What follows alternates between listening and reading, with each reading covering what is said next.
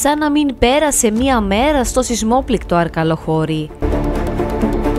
Είναι σαν να είμαστε στη δεύτερη μέρα από το σεισμό και να μην έχει αλλάξει τίποτα. Αρκετός κόσμος έχει φύγει. Η κατάσταση είναι τραγική.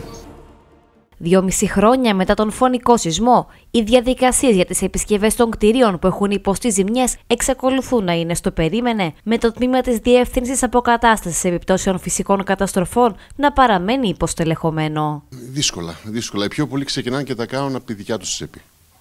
Από τη δικιά τους τσέπη πληρώνουν. Γιατί εντάξει, δεν γίνεται. Νοικιάζεις ένα, ένα μαγαζί, ένα σπίτι και όταν λείπουν τα, τα νίκια είναι πρόβλημα. Δεν είναι πολύ καλή κατάσταση. Δεν έχουμε πολλές δουλειές. Τα μαγαζιά μας βλέπετε. Δεν κυκλοφορεί πολλοί κόσμος. Όχι, δεν έχει αλλάξει κάτι. Είμαστε προς το πίσω. Ε, δεν προχωράει κάτι. Τώρα δεν ξέρω με την Νέα Δημοτική Αρχή και το Δήμαρχο το καινούριο.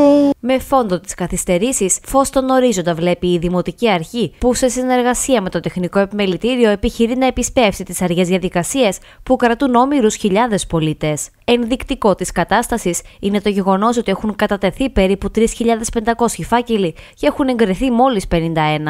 Επιθυμούμε άμεσα ουσιαστικές λύσεις να τρέξουν ώστε όλοι οι άνθρωποι να ξαναμπούν με γοργούς ρυθμούς στα σπίτια τους. Καθόλου δεν κινούνται. Από ό,τι μαθαίνω ε, τα κίτρινα πόσα είναι, πόσοι φάκελοι έχουν κατατεθεί, είναι το 1 τέταρτο. Προσωπικά έχω καταθέσει φάκελο βεβαίως και περιμένω ε, να εγκριθεί αρμοδίως. Μου έχουν βγάλει κάποιες ελλείψεις, τις οποίες τις προσκομίζω σταδιακά, αλλά... Πότε έγινε η κατάθεση του φακέλου; Η κατάθεση του φακέλου έγινε τον ε, προηγούμενο Μάρτιο, αν θυμάμαι καλά, Προκειμένου να λυθεί ο γόρδιος δεσμός και με φόντο το υποστελεχωμένο το ΕΦΚ στο Ηράκλειο, οι αρμόδιοι προτείνουν να επιστρατευτούν ιδιώτες μηχανικοί που θα τρέξουν τους χιλιάδες φακέλους που εκκρεμούν. Παράλληλα, η πρόταση στοχεύει στην έκδοση άδειας μικρής κλίμακας για τα πράσινα και κίτρινα κτίρια χωρίς ζημιές στον φέροντα οργανισμό, με πλαφόν προπολογισμού 8 και 12.000 ευρώ αντίστοιχα. Είναι μια σειρά προτάσεις που αφορούν πρώτα απ' όλα τον αριθμό των εργαζομένων και των ανθρώπων που μπορούν να εξετάζουν φακέλους. Εμείς έχουμε μιλήσει για τη δυνατότητα σύμβασης έργου και πληρωμής των μηχανικών με το τεμάχιο και με τη συμμετοχή στην Επιτροπή.